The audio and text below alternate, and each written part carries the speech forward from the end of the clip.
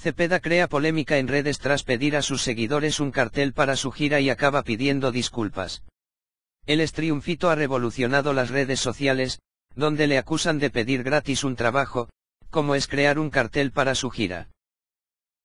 Uno de los concursantes de OT 2017 más polémico de todos ha vuelto a generar un revuelo en redes sociales nada más empezar este 2019.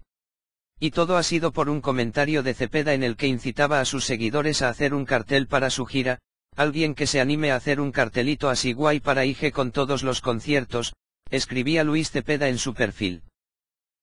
A partir de ese momento, muchos han sido las personas que se han sentido ofendidas por dicho comentario, me parece muy triste que se pida gratis una cosa que para muchos es un trabajo y viven de ello, escribía un internauta. El estriunfito no ha dudado en contestar a dicho comentario, me parece muy triste que comentes sin tener ni puta idea.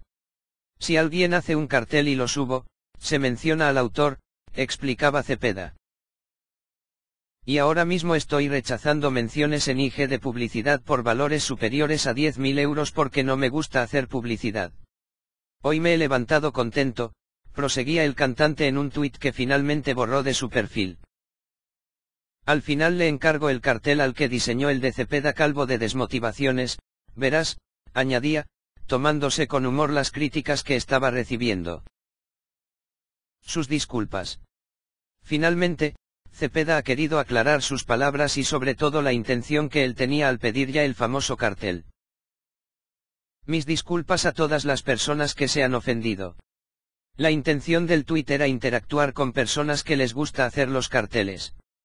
No pedir trabajo gratis. Hasta mañana, escribía el joven, zanjando el tema por completo.